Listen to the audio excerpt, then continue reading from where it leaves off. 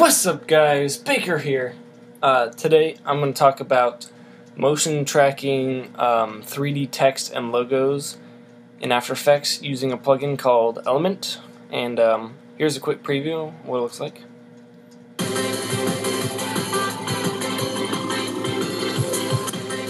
So I'm just going to show you uh, a couple tips here and there to make it pretty uh, realistic and uh, nice and stuff and how the basic workings of logos and text work and stuff. Okay, so I'm just going to go ahead and uh, duplicate this comp real quick just for this tutorial. Go inside. Now you're going to have delete, delete, delete that, delete that, and delete that. Okay, so you just have this motion tracked uh, cinematic, and I got this camera here. So you can use Boujou or you can use um, built-in tracker or uh, camera tracker by the Foundry.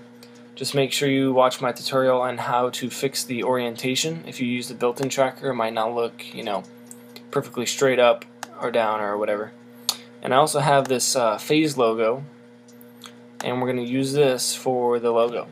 Now, since this is really tiny, I'm not going to use the auto trace feature, which um, I can show you real quick do auto trace. Hold on. Delete the mask on it already. Let's go ahead and zoom in. If I go to layer, auto trace, it can uh, trace over things. So you can do luminance, you can do uh, alpha channel, um, but alpha channel is not going to help us. We can do luminance, and it'll trace it, but it gives us um, too many extra points, and uh, there's too many curved um, endpoints, so it actually doesn't look that good. If it was a very large picture, then I'm sure this would work fine. But in this case, I'm just going to use my own pen tool, zoom in even more, and just go ahead and uh, click around these points really quick. Going around, boom, and of course you can always readjust these points at any time in the tutorial if your um, 3D logo or text does not look how you want it.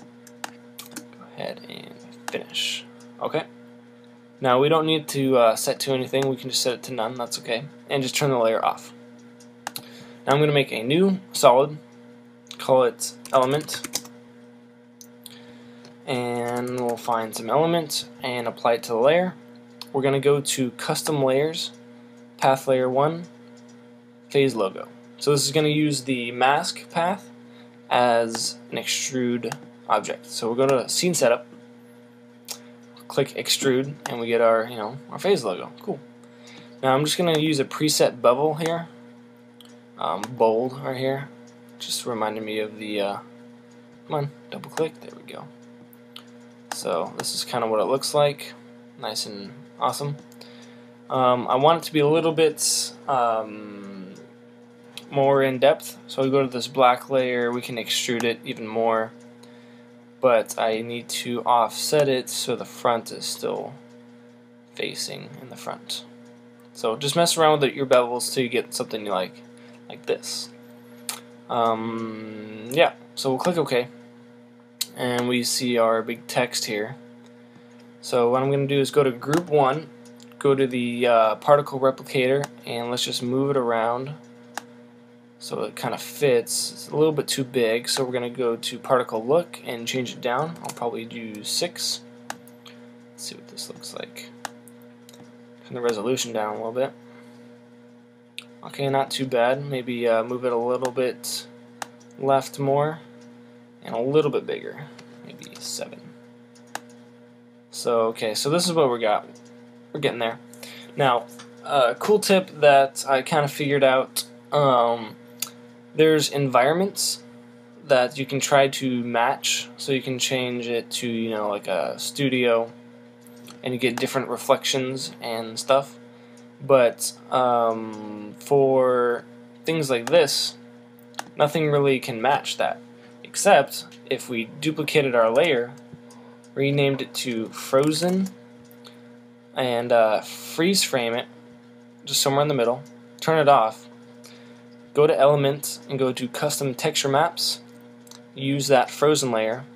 We can use that as its environment and it'll kind of match up the, um, reflection is a little bit better. So we'll go to this drop down menu, go to custom layer right here, and hit OK. OK.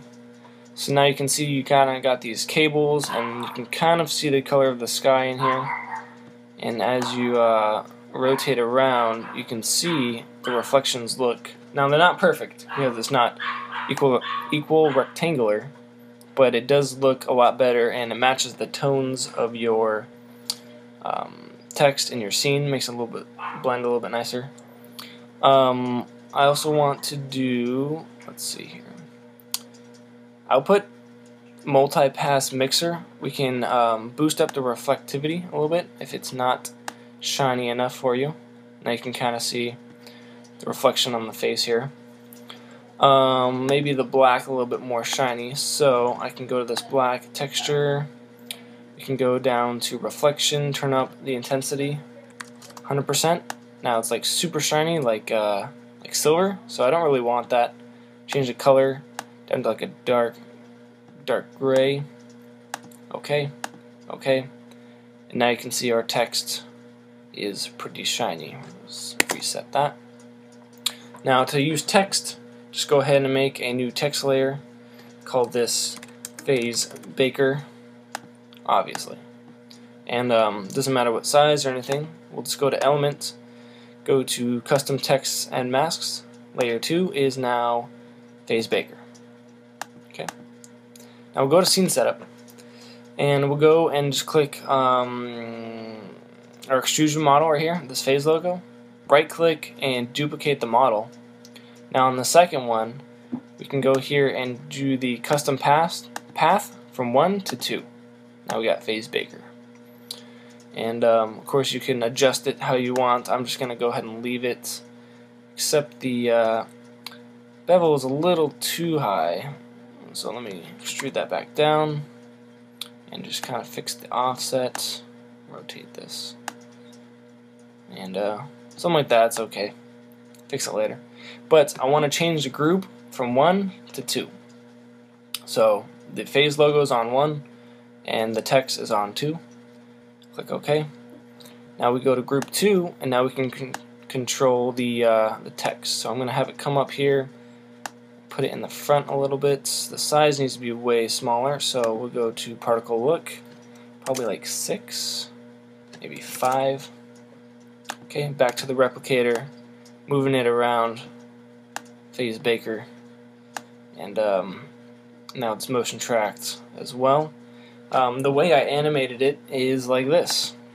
So I'm going to go somewhere in the middle when I want the uh, animation to stop.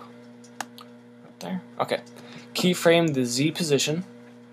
We'll go to um, particle look, go down to multi-object enable so we can control each character individually. We're going to keyframe the random rotation and keyframe displace Z, no, scatter Z. Where's that? Scatter Z keyframe.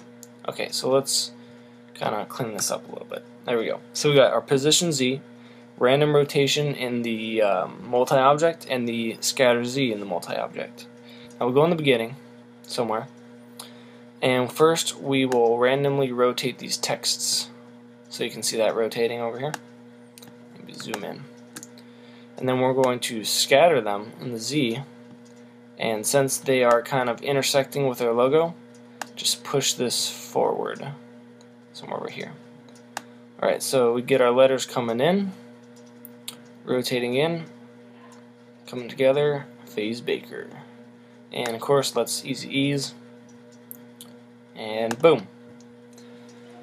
So, the um, tips that I want you to remember is pretty much this environment tip to make it match a little bit better. So duplicate your um, motion tracked cinematic and freeze frame it and set it as the environment map. So looks cool. And um, using a mask path to make a logo. So if I wanted to, I can you know stretch this out, and it should. No, okay, never mind. Um, never mind. All right, just get. So yeah, that's that's what we got. And also, don't forget to turn on the motion blur for element. So it makes the pieces coming in a lot smoother. And that's about it. Okay, make sure you leave a like, favorite, comment. Um, hit me up on Facebook or Twitter if you have any questions. And that's it. Peace.